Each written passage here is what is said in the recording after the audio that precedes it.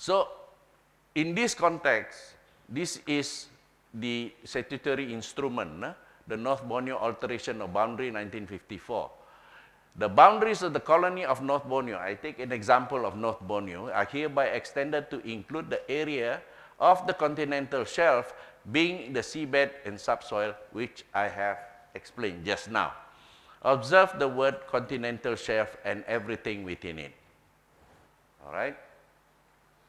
Now, the federal government keep on saying that they are looking at the territorial water because it comes under the provision of UNCLOS or United Nations Law of uh, United Nations Convention Law of the Sea. All right?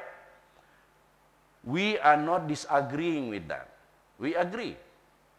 But in as far as their function is concerned, they were to maintain the boundary of this territorial water, not whatever is within the territorial water.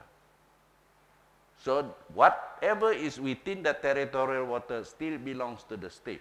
But the integrity of the boundary, that is the responsibility of the federal government.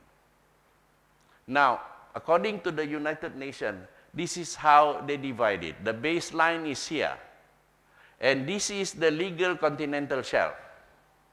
And that legal continental shelf can extend less than 350 miles away.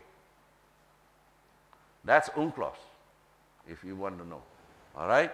Now, if we take a look at this diagram, 200 miles are the economic exclusive zone. So that's the boundary just now. All right? 24 uh, miles is the contiguous zone and the territorial sea is 12 miles.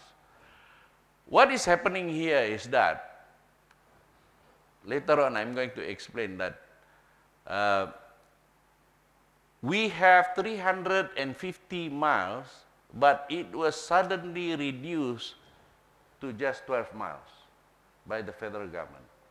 All right?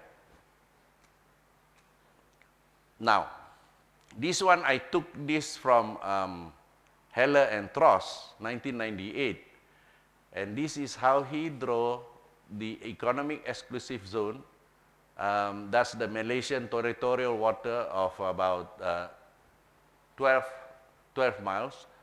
All right, Brunei, that's how it comes out from there, perpendicular to that.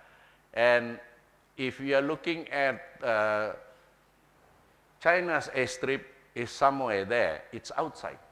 It's not inside. And our terumbu is somewhere there. Our layang-layangan.